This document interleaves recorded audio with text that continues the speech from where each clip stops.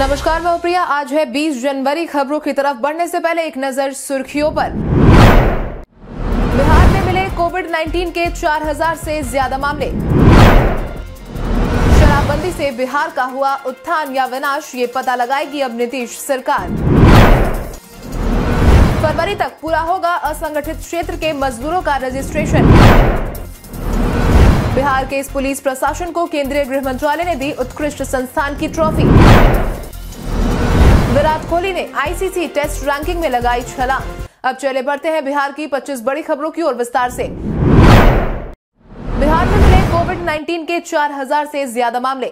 स्वास्थ्य विभाग की तरफ़ से मिली जानकारी के अनुसार बिहार में बीते दिन के पिछले 24 घंटे में कुल मिलाकर चार मामलों की पुष्टि हुई है, जिसके बाद बिहार में एक्टिव मरीजों की संख्या तीस पर पहुँच गई है। इसके साथ ही अगर हम प्रभावित जिलों की बात करें तो अररिया में तिरपन, अरवल में तीस, औरंगाबाद में इकसठ, बांका में सड़सठ, बेगूसराय में एक सौ तैंतीस, भागलपुर में दो सौ चौदह, भोजपुर में अंठावन, बक्सर में तिरपन, दरभंगा में एक सौ छत्तीस, ईस्ट चंपारण में संतानवे, गया में तिरपन, गोपालगंज में इक्यावन, जमुई में बयालीस, जहानाबाद में उन्नीस, कैमूर में तेरह, कटिहार में एक सौ सत्तावन, खगड़िया में सत्रह, किशनगंज में उनचालीस, लखीसराय में चौबीस, मधेपुरा में एक सौ बयालीस, मधुबनी में चौसठ, मुंगेर में एक सौ एक, मुजफ्फरपुर में एक सौ छत्तीस, नालंदा में एक सौ बाईस, नवादा में चौदह, पटना में नौ सौ निन्यानवे पूर्णिया में 218, रोहतास में छियालीस सहरसा में 25, समस्तीपुर में दो सौ छियानवे सारण में 126, शेखपुरा में 40, शिवहर में 34, सीतामढ़ी में 44, सिवान में अंठावन सुपौल में तैतालीस वैशाली में छियानवे वेस्ट चंपारण में 106 मामलों की पुष्टि हुई है। इसके अलावा छत्तीस ऐसे मामले भी पॉजिटिव पाए गए हैं जो दूसरे राज्य के हैं लेकिन इनके सैंपल बिहार के अलग अलग जिलों में कलेक्ट किए गए हैं। इसके साथ ही बिहार में बीते दिन के पिछले चौबीस घंटे में कुल मिलाकर एक सैंपल की जाँच की गई। वहीं सात सात मरीज़ ठीक होकर घर वापस लौटे हैं। आज बिहारी बर्थडे स्पेशल में हम बात करेंगे मनीष मेहरोत्रा की। मनीष मेहरोत्रा का जन्म आज ही के दिन साल उन्नीस सौ चौहत्तर को बिहार की राजधानी पटना में हुआ था। मनीष मेहरोत्रा भारत के एक शेफ हैं। उन्होंने फुडिस्तान एनडीटीवी गुड टाइम्स द्वारा एक television cooking game show Vir Sanghvi award 2010 और 2012 के सर्वश्रेष्ठ chef HT City Crystal award American Express best chef of the year सहित कई पुरस्कार जीते हैं। वो हाल ही में मास्टर शेफ इंडिया दो हज़ार पंद्रह में गेस्ट शेफ के रूप में भी आए थे और इन्हें the order of Escoffier discipline में शामिल किया गया है। Mehrotra old world hospitality private limited के लिए कॉरपोरेट शेफ लग्जरी डाइनिंग है। इसके साथ ही उन्होंने सिंगापुर में 2011 के पेटू शिखर सम्मेलन में भाग लिया, जहाँ आमंत्रित किए जाने वाले वो एकमात्र भारतीय शेफ थे। बिहार और महाराष्ट्र सर्किल में ग्रामीण डाक सेवक भर्ती के रिज़ल्ट की हुई घोषणा। बिहार और महाराष्ट्र सर्किल में ग्रामीण डाक सेवक भर्ती के रिज़ल्ट की घोषणा बीते दिन कर दी गई है जिसके बाद ही अब बिहार और महाराष्ट्र डाक विभाग में चार हज़ार तीन सौ अड़सठ पदों पर भर्तियाँ की जाएँगी, जिसके बाद ही अब जो भी उम्मीदवार इस परीक्षा के लिए आवेदन भर चुके थे। वो इंडिया पोस्ट की official website app post dot I N पर जाकर रिज़ल्ट चेक कर सकते हैं। आपकी जानकारी के लिए आपको बता दें कि जारी नोटिफिकेशन के अनुसार इस वैकेंसी के तहत कुल चार हज़ार तीन सौ अड़सठ पदों पर भर्तियाँ होंगी। इसमें बिहार पोस्ट सर्कल में 1940 पद भरे जाएँगे। जनरल कैटेगरी के लिए 903 आर्थिक रूप से कमज़ोर वर्ग के लिए एक सौ छियालीस ओबीसी के लिए 510 एससी के लिए दो एसटी के लिए 45 और पीएच वर्ग के लिए बयालीस सीट तय की गई है। से बचाव के लिए बटेगा एक लाख पैकेट आयुर्वेदिक काढ़ा।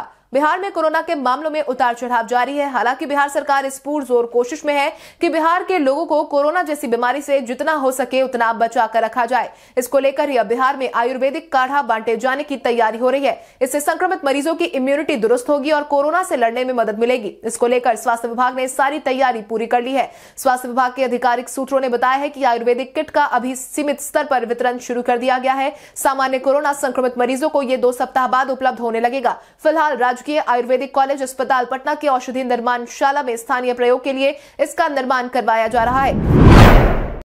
एसोसिएशन ने सरकार से की स्कूलों को खोलने की मांग।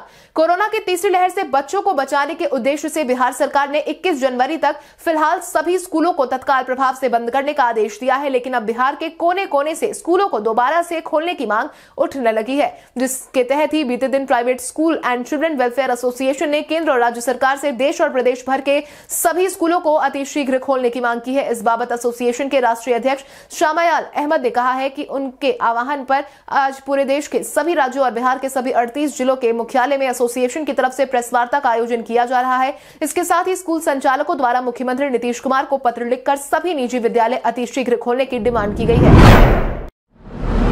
के इन छह जिलों में शीत दिवस की हुई घोषणा। बिहार में ठंड की मार का सामना हर एक बिहारवासी कर रहा है। आलम कुछ यूँ है कि दोपहर को धूप के आस में लोग अपने कंबलों में दुबके नज़र आ रहे हैं, जिसके बाद अब लोगों को ठंड से राहत का इंतज़ार है, लेकिन लोगों को अब और ज़्यादा इंतज़ार करना पड़ सकता है। उत्तरी पछुआ तथा उत्तरी हवाओं के प्रभाव से राज्य भर में कनकनी से जनजीवन बेहाल है। बीते दिन की बात करें तो पटना के अलावा दरभंगा, पूर्वी चंपारण, मुजफ्फरपुर, गया और सारण में शीत दिवस रहा।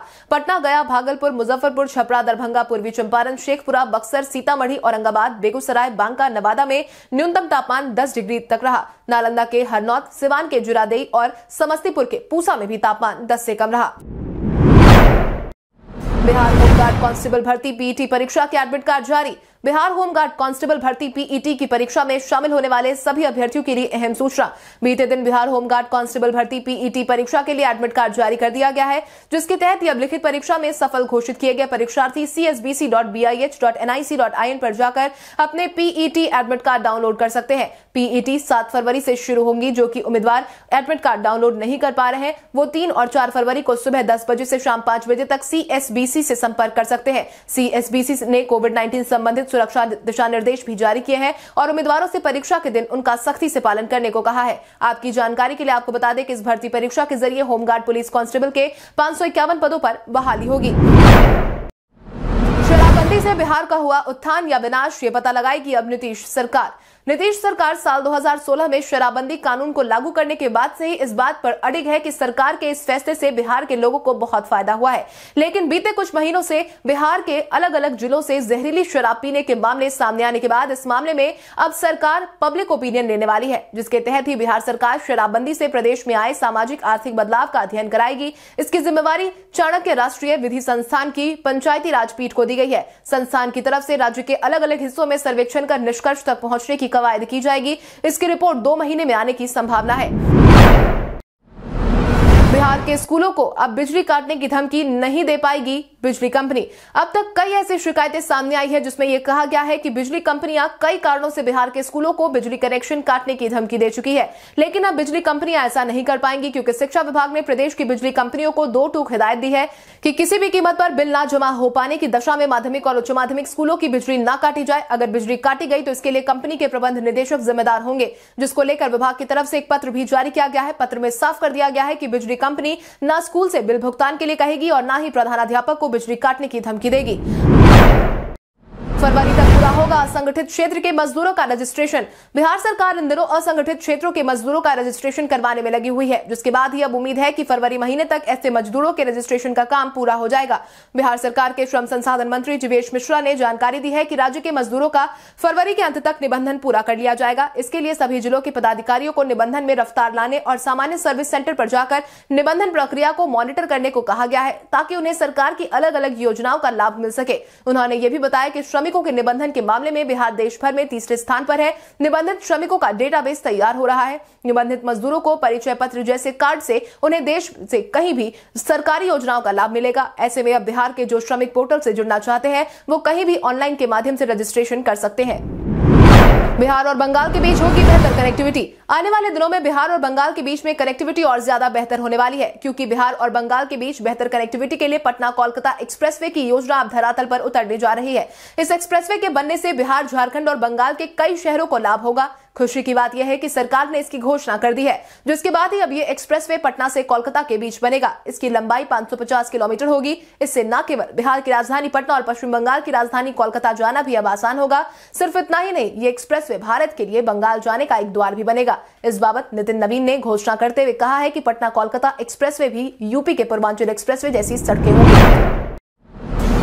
के इस पुलिस प्रशासन को केंद्रीय गृह मंत्रालय ने दी उत्कृष्ट संस्थान की ट्रॉफी। राजगीर पुलिस प्रशिक्षण केंद्र को पुलिस अवर निरीक्षक प्रशिक्षण संस्थान, श्रेष्ठ प्रशिक्षण संस्थान के रूप में पूर्वी जोन के लिए श्रेष्ठ स्थान के तौर पर बेहतरीन काम करने के लिए पुरस्कृत किया गया है, जिसके तहत राजगीर पुलिस प्रशिक्षण अकादमी को साल 2020-21 के लिए उत्कृष्ट पुलिस प्रशिक्षण संस्थान की ट्रॉफी से सम्मानित किया गया है। आपकी जानकारी के लिए आपको बता दें कि राजगीर प्रशिक्षण अकादमी पूरे एक एकड़ क्षेत्रफल में फैला हुआ है। इसका बानवे प्रतिशत हिस्सा खुला हुआ है, जिसमें सभी तरह के प्रशिक्षण पुलिस पदाधिकारी को दिए जाते हैं। राजगीर पुलिस अकेडमी की शुरुआत साल 2018 में बिहार के मुख्यमंत्री नीतीश कुमार द्वारा की गई थी। बिहार के सत्रह लॉ कॉलेजों में दाखिले की मिली मंजूरी। अगर आप बिहार से ही हैं और लॉ की पढ़ाई पूरी करना चाहते हैं तो आपके पास सुनहरा मौका है, क्योंकि बीते दिन चीफ जस्टिस संजय करोल की खंडपीठ ने कुणाल कौशल की जनहित याचिका पर सुनवाई करते हुए बिहार के सत्रह लॉ कॉलेज में दाखिले के लिए मंजूरी दे दी है, जिसके तहत ही अब कोई भी छात्र पटना स्थित Chanakya law university Patna law college college of commerce RPS law college, K K law college, Bihar Sharif, Nalanda,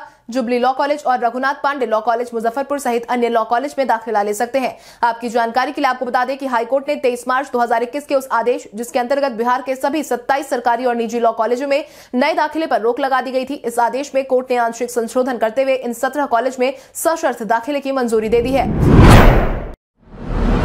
निर्देश के बाद ही सरस्वती पूजा की दिखेगी धूम। बिहार में इस साल सरस्वती पूजा पर कोरोना का साया मंडरा रहा है। हालाँकि कोरोना संक्रमण के बीच माँ सरस्वती की प्रतिमा बनाने में मूर्तिकार पिछले एक महीने से अपने काम में जुटे हुए हैं। अब वो प्रतिमा को अंतिम रूप दे रहे हैं, लेकिन अभी भी उन्हें डर सताया जा रहा है क्योंकि राज्य के अधिकतर मूर्तिकार वर्तमान समय में कर्ज में है और अभी तक मूर्तियों की बुकिंग को लेकर भी कोई चहलकदमी देखने को नहीं मिल रही है। मूर्तिकारों का कहना है की लोग सरकार के निर्णय का इंतज़ार कर रहे हैं। आलम कुछ यूँ है की कोरोना के कारण मूर्तिकारों ने इस साल कम मूर्तियाँ ही बनाई है, पर बुकिंग नहीं होने से उनके सामने आर्थिक समस्या उत्पन्न होने लगी है। मूर्तिकार पाई पाई जोड़कर मूर्ति बनाने में लगा रहे हैं। हर साल उनको उम्मीद थी। हालाँकि इस साल उनको उम्मीद थी कि माँ सरस्वती की प्रतिमा को बेचकर स्थिति सुधार लेंगे, लेकिन सरकार द्वारा अभी तक सरस्वती पूजा के आयोजन को लेकर के कोई दिशा निर्देश जारी नहीं किया गया है। भारतमाला प्रोजेक्ट से जुड़ेंगे बिहार के इस ज़िले के चार प्रखंड। भारतीय राष्ट्रीय राजमार्ग प्राधिकरण द्वारा भारतमाला परियोजना फ़ेज़ दो के तहत वाराणसी, रांची, कोलकाता एक्सप्रेसवे का निर्माण के लिए विधिवत प्रारूप तैयार कर लिया गया है। बिहार के लिए ये खास इसलिए है क्योंकि इस परियोजना से ज़िले के चार प्रखंडों को बयालीस गाँव को जोड़ा जाएगा। परियोजना के लिए राष्ट्रीय राजमार्ग प्राधिकरण की तरफ़ से भू अर्जन के लिए राजस्व ग्राम, रैयत, उनके दखल कब्जा, लगान रसीद, चक या सर्वे खतियान से संबंधित सत्यापित रिपोर्ट तैयार की जा रही है। वर्तमान समय की बात करें तो अधिकांश गाँव यातायात और अन्य दृष्टि से काफ़ी पिछड़े हैं। सड़क निर्माण से इन गाँव में विकास कार्य तेज होंगे, जिसकी जानकारी जिला भू अर्जुन पदाधिकारी राजेश कुमार गुप्ता ने राष्ट्रीय कला उत्सव में बिहार के पाँच प्रतिभाओं ने मारी बाजी। बिहार में प्रतिभाओं की कोई कमी नहीं है, जिसका प्रमाण आपको समय समय पर देखने को मिल ही जाता होगा। इसी कड़ी में बिहार के पाँच प्रतिभाओं ने एक बार फिर से बिहार का मान बढ़ाने का काम किया है, जिसके तहत ही राष्ट्रीय कला उत्सव प्रतियोगिता में बिहार ने परचम लहराया है। आलम कुछ यूँ रहा की राज्य के पाँच प्रतिभाशाली बच्चे प्रतियोगिता में पहले, दूसरे और तीसरे स्थान पर रहे हैं। वहीं स्थानीय खिलौने एवं खेल में बालक वर्ग में राम रतन उच्च विद्यालय सचाई अरवल के छोटू पासवान पहले स्थान पर रहे। आपकी जानकारी के लिए आपको बता दें कि एनसीईआरटी द्वारा हर साल कला उत्सव का आयोजन किया जाता है। ये स्कूल स्तर से लेकर प्रखंड, जिला और राज्य स्तर पर होता है। इसके लिए ही राज्य स्तर पर 18 बच्चों का चयन हुआ था, जिसमें से पाँच ने बिहार का मान बढ़ाने का काम किया है। म्यूचुअल फंड के दीवाने हुए बिहार के लोग। कोरोना काल में कई लोगों को अपनी नौकरी से हाथ धोना पड़ा है, क्योंकि संपूर्ण लॉकडाउन समेत अन्य प्रतिबंधों के कारण कई कंपनियों को छटनी का काम करना पड़ा था। वहीं कई लोग अब कमाई के अन्य साधनों को भी तलाशने में जुट गए हैं। इसी कड़ी में अब कोरोना काल ने बिहार वासियों को म्यूचुअल फंड की तरफ़ काफ़ी ज़्यादा आकर्षित किया है। Association of mutual fund of India के ताज़ा आंकड़ों के अनुसार महामारी की मार से धार खोते कारोबार के कारण लोग बचत राशि को बढ़ाने के लिए म्यूचुअल फंड को ठिकाना बनाने लगे हैं। राज्य में निवेश के दूसरे विकल्पों की कमी के कारण भी यहाँ पर लोगों में निवेश के लिए पसंदीदा ये बन गया है। यही कारण है कि कोरोना के पिछले दो साल में राज्य में म्यूचुअल फंड में निवेश की कुल राशि चार गुनी से अधिक हो गई है। इतना ही नहीं, पिछले सात साल में म्यूचुअल फंड में राज्य से निवेश की कुल राशि छह गुनी से अधिक हो गई है।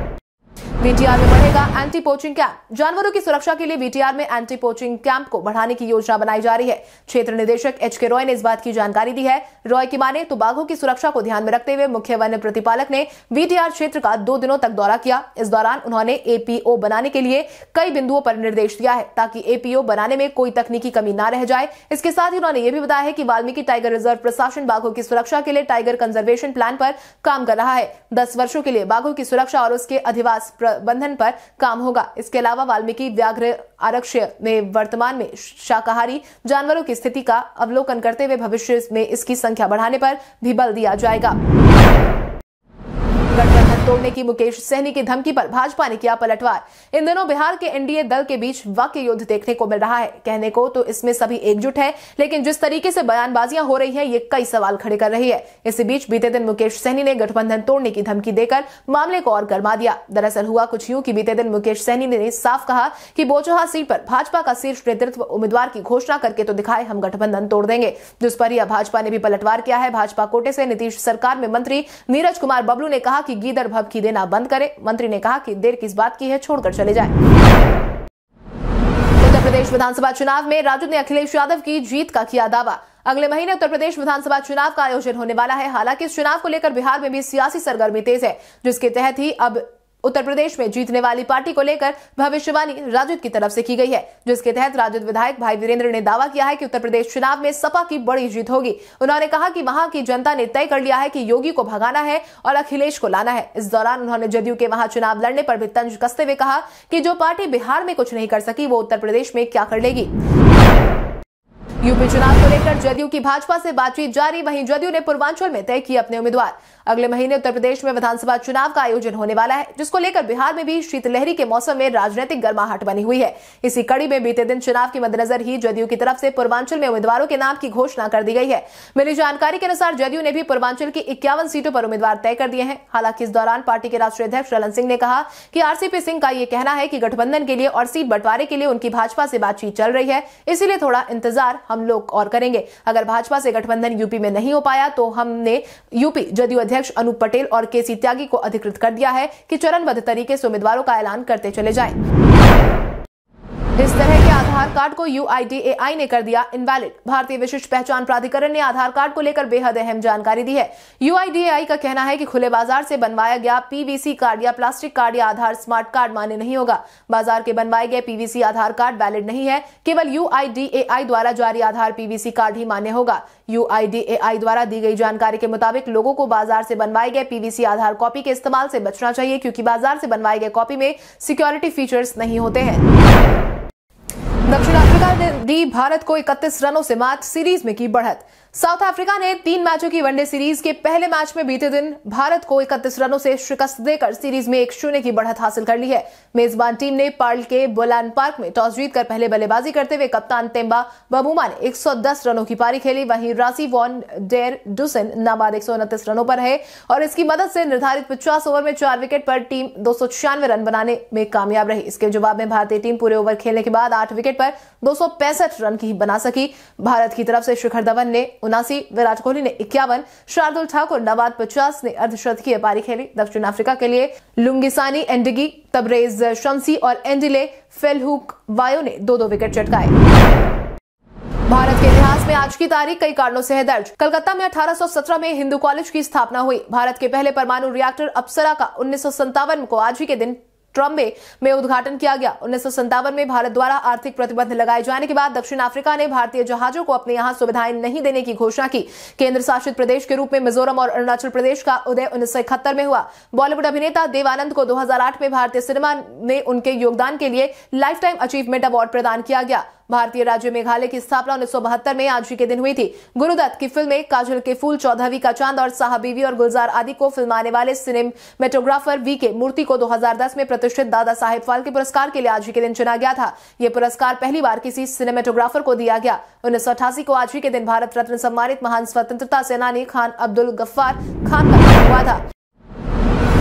अब आइए जानते हैं सराफा बाज़ार और पेट्रोल डीजल के क्या थे भाव। अगर हम सराफा बाज़ार की बात करें तो सोने का भाव 19 जनवरी को 22 कैरेट के लिए प्रति दस ग्राम छियालीस हज़ार चार सौ रुपए था।